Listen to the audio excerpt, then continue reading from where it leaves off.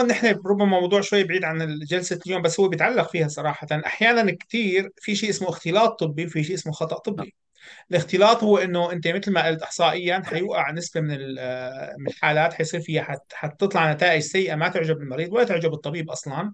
بس الطبيب ما بيكون متوقع حدوثها عرفان إنه ممكن تصير. هو مفروض منه يبلغ المريض قبل ما يعمل العملية أو الدواء إنه ممكن يصير آثار جانبية أو آثار سلبية نحن ما بدنا إياها بس لو صارت نحن بنكون جاهزين لها فهذا اسمه الاختلاط الطبي بينما الخطأ الطبي إنه أنت سبب الإهمال أو التقصير أو يعني هاي اشياء أشياء الحالات. مرة ثانية صعب طبيب بشكل مقصود إنه يعمل أذى للمريض. يعني هذا الشيء صعب تتقبله بهذا ال- بالأيام هذه. صحيح. ففرق بين الخطأ المقصود أو ال- الإهمال اللي بينتج عنه خطأ ما حدا ما حدا بيتقبله عن الاختلاط الطبي اللي هو وارد ومتوقع وما بيكون في تقصير من الطبيب.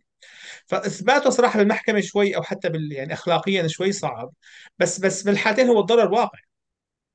مع هيك مع هيك طلال يعني حتى بالاختلاطات اللي الطبيب هو ما له فعل فيها ولكن إذا أنت بتعرف إنه اجراءك رح. رح يعني غالبا رح ينتج عنه اختلاط وأنت شبه متأكد من هذا الشيء فهون كمان في عندك مجال لل- للمناورة ومجال للنقاش أكثر طيب هون معناتها على الحالة أنا لما بطبق علاج معياري يعني لو جبنا 100 طبيب حيطب معظمهم حيطبقوه نفسه حيعطوا هذا الدواء لهذا المريض رغم إنه بيعرفوا إنه في آثار جانبية ممكن تحدث. يعني حبة الأسبرين نفسها اللي كل الناس بتاخذها بيبي اسبرين ممكن تسبب نزف في المعدة واحيانا بيكون نزف خطير صراحة وهذا أثر جانبي متوقع عند بعض المرضى.